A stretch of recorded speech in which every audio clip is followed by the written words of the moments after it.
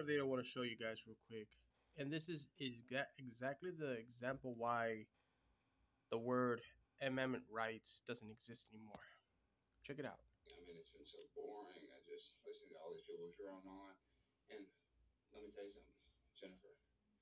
I love big booty Latinas. So I sit here and I see, yes, I love. You are up. See her reaction when he said it?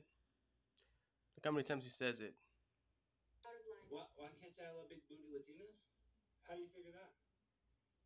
That that's Wait, how is that a? first response. I'm So my fir- my First Amendment right, I'm allowed to say I like big booty Latinas. How is that a crime?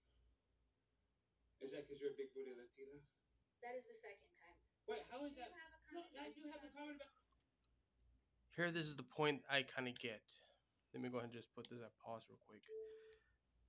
The word amendments rights do not exist anymore. If you're gonna unleash a sexual harassment on somebody and think you're not gonna get away with it, here's the thing about that you're wrong. Jesus Christ is in charge of this world.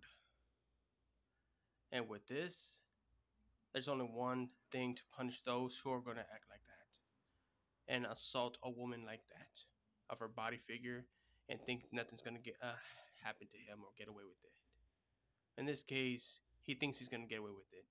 So I'll say this remove him in the name of Jesus Christ. Remove the man who thinks he's going to get away with it.